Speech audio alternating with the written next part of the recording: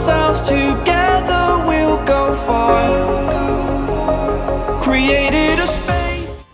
Hey guys, this is a dining chair that comes in this set that I got from Walmart a long time ago and I want to change my dining set. So instead of throwing them away, I will take two and make a little table with it.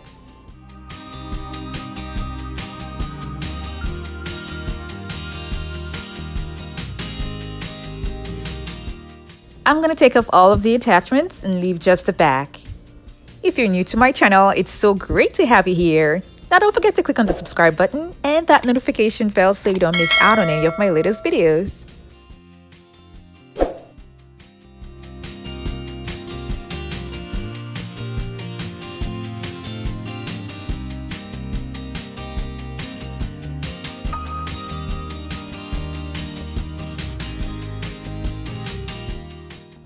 I did this for two chairs.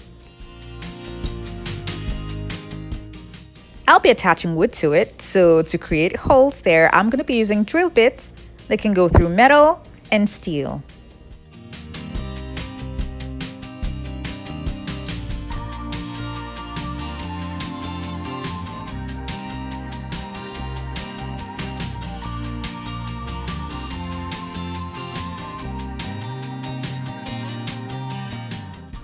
I got wood from Home Depot and cut it to size, and then I'll be using it to hold both of them together in the middle.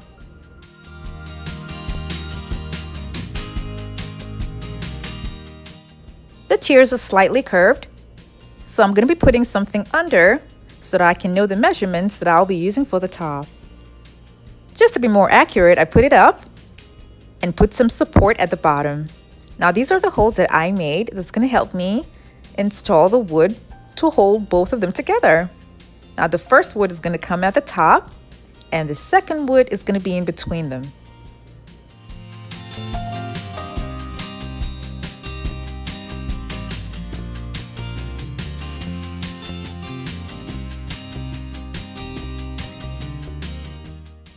After I put them all together and I got the measurement that I wanted, I took off the top to see if I could cut it.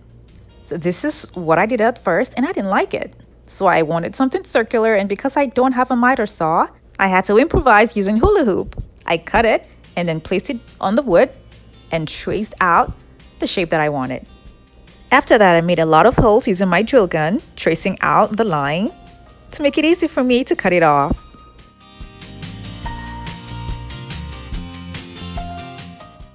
And then I made the edges smoother with a pair of scissors. This is a black marble contact paper that I got online and the link for this will be in the description box below. I'll be using this to cover up all of the wood that I'll be using for this project.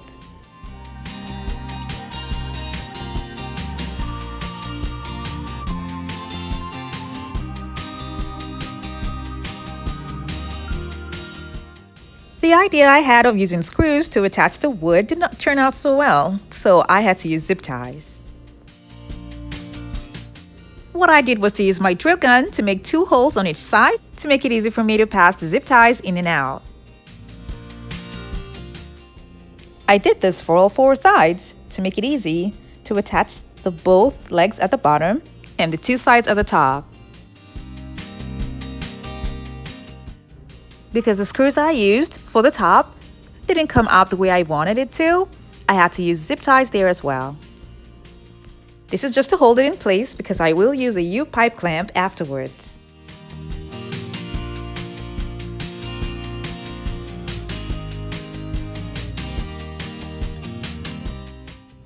I got this chandelier decor piece from the Dollar Tree. And this is how, after you assemble it together, it would look like.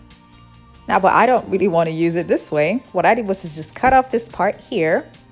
And because the two parts that come in a pack look different, I got four packs. I spray painted them gold and then I glue them to the parts of the chairs to add to the design.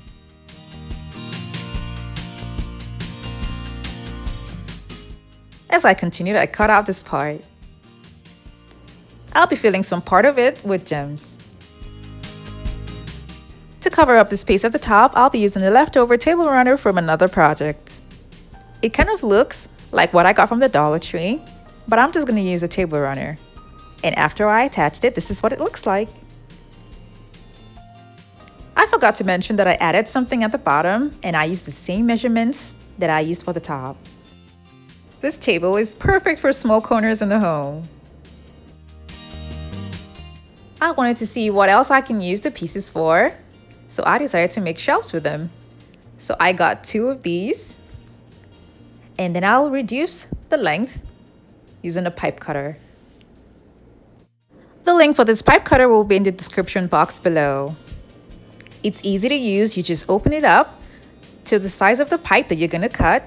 Make sure the pipe fits snug inside, then make it really tight and start turning it. And at intervals, it could be getting loose, so you have to tighten it up and you keep going until you have your perfect cut.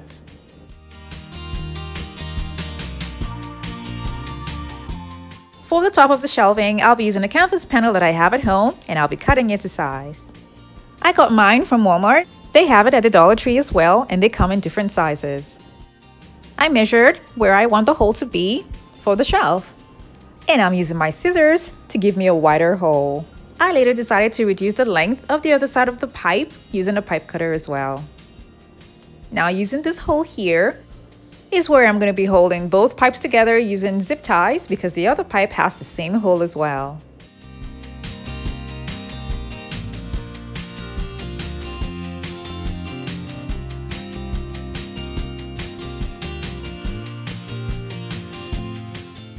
I want the shelf to have a triangular shape at the top. And now that that is done, I'll be attaching the canvas panel using machine screws.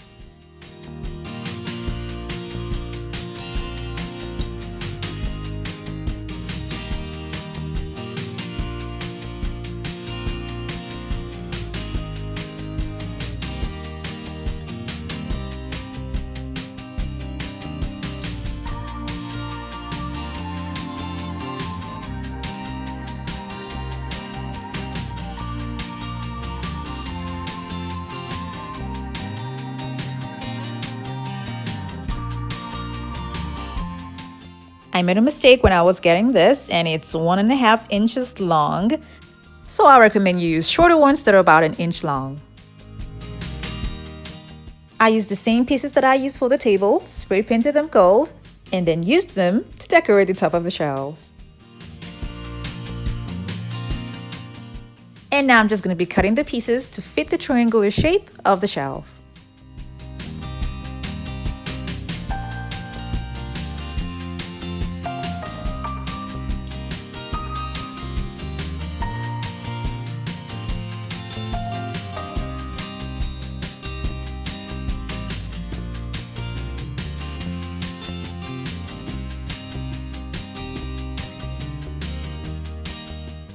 This is what it should look like, and then I made two. To make it similar to the table, I covered the canvas panel with marble contact paper. Now this part here at the back, where the zip tie is, is where it's going to be hanged on the wall. I covered a small piece with contact paper so I can cover up these open pipes. This is what it looks like when you have all of them together.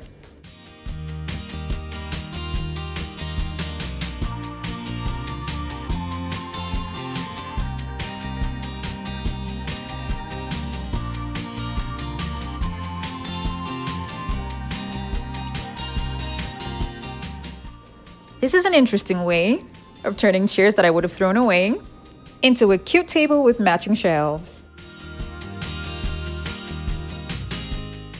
I have to say that I'm not a professional furniture maker. This is just a DIY project and I love the way it turned out.